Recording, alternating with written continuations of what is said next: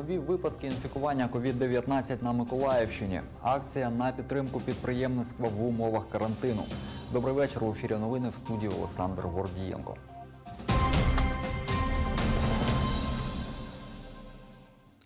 Плюс чотири випадки зараження коронавірусом за добу на Миколаївщині. Троє хворих додались в Южноукраїнську і один в Миколаєві.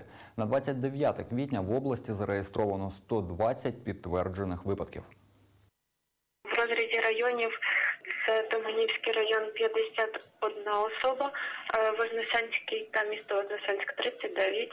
Збільшилась кількість в місті Миколаєві. Зараз у нас вже 11, та в місті Южноукраїнськ було один, на сьогодні вже 4 особи.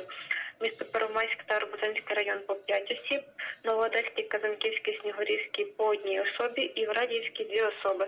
Одужало у нас на сьогодні вже 5 осіб, три з міста Миколаєва та дві з Первомайського району.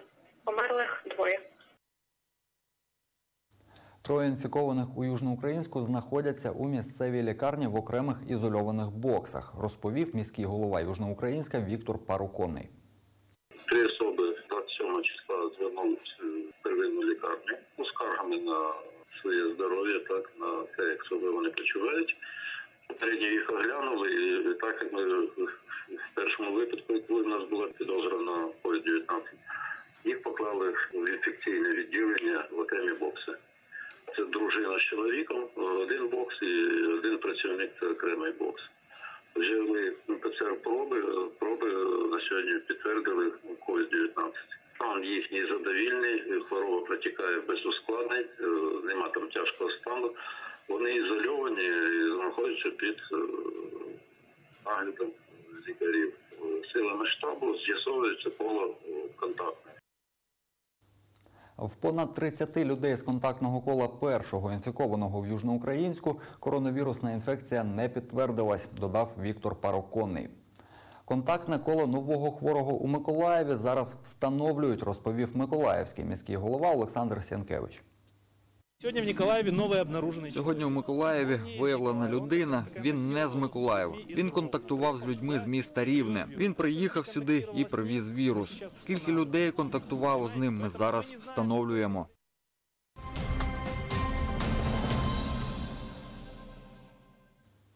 В Миколаєві влаштували автопробіг та акцію під Миколаївською міською радою на підтримку малого та середнього підприємництва міста. Автомобілісти збираються біля залізничного вокзалу. Усього близько 50 машин. Долучився до заходу Артем Антонов. Чоловік-підприємець. 10 років займається продажем овочей та фруктів. На час карантину роботу призупинив. торговля, ринки і не дають нормально робити. Ну, поліція нас ганяє, не дають. Ну, ми питаємося що-то як-то там дезінфекції, всі ці діла робити, ну, все одно не дають. А тебе дають працювати, нам не дають. А тебе дають торгувати польським яблуком по 30 гривень, нам по 10, по 15 не дають. Перед початком автопробігу поліція проводить інструктаж. Патрульний Сергій Михайлівський зазначив, що водії мусять рухатися містом зі швидкістю 30 км на годину. Нагадав про необхідність дотримуватися дистанції та одягати маски.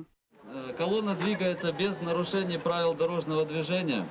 Э, Если кто отстанет, есть замыкающий автомобиль патрульной полиции. То есть колонна подождет, колонна замедлится. Скорость движения 30 км в час, средний ряд. Пожалуйста, соблюдайте дистанцию друг с другом и соблюдайте правила дорожного движения. Об 11.00 автомобілі рушають. За кермом Форду Сієри Сергій Сагайдак. Чоловік займається підприємництвом, продає речі побутового вжитку. У штаті має вісьмох людей. Каже, зараз роботи немає, а сплатити податки, зарплатню та орендну плату необхідно. Тому є нагальна потреба у грошах. Оптова торгівля, 8 працівників. Всі зараз по домам. От сидять.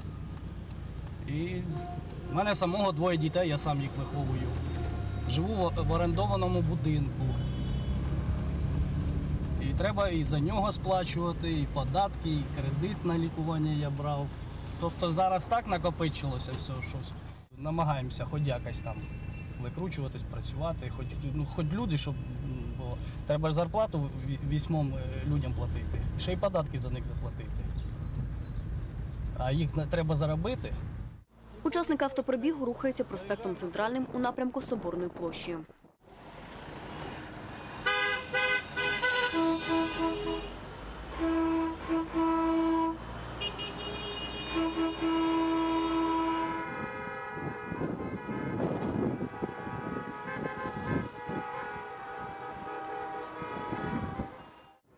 Соборній площі вже чекають підприємці, які автомобілів не мають.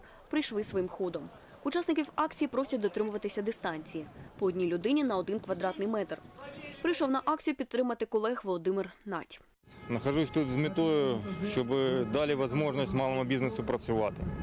Я вважаю, що всі повинні бути в однакових умовах.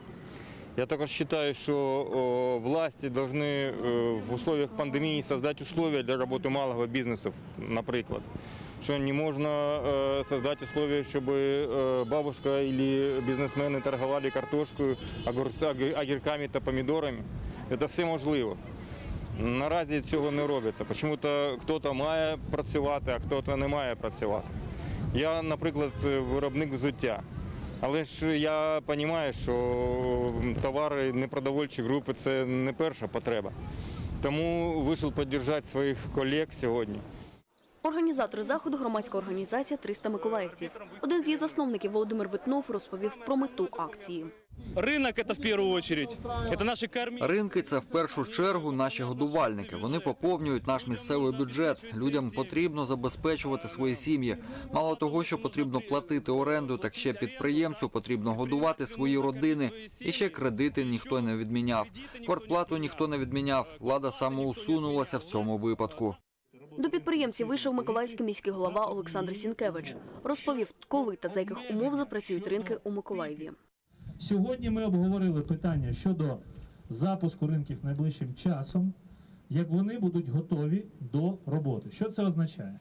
Це означає, що вони зараз на входах, на всіх входах ринків поставлять людей з термометрами, які перевіряти температуру. Допускатися будуть люди лише в масках. Продавці будуть в масках, в окулярах, в перчатках. Товар буде накритий плівкою, яка буде захищати товар, а люди, які хочуть купити його, будуть указувати, хочу оце, оце і оце. За дотриманням правопорядку слідкувала поліція.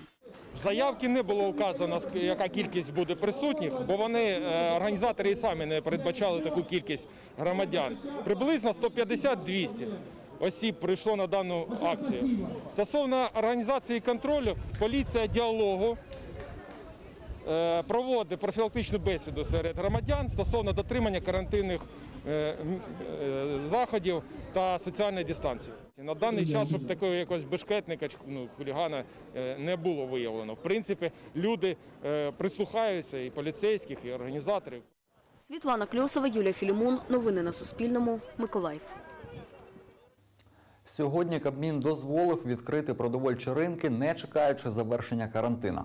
Проте працювати базари мають дотримуючись санітарних правил. Контролюватиме це держава. Карантин уряд планує поступово послаблювати, а 11 травня запровадити так званий адаптивний карантин. Це означає, що посилювати заходи по боротьбі з коронавірусом будуть лише в тих регіонах, де кількість нових хворих зростатиме суттєво, розповів прем'єр Денис Шмигаль. Це означає, що в разі спалахів інфекції в окремих регіонах ми будемо посилювати карантин саме там, а не в цілому по всій країні. Але це наступні наші кроки після 11 травня. Ми також маємо свідомити, що навіть після відкриття всіх закладів та транспорту маски, дезінфектори, соціальне дистанціювання, е, гігієна особиста нікуди не дінуться. Відтепер це норма. Поки це вся інформація. Більше новин дізнавайтесь о 19 Побачимось.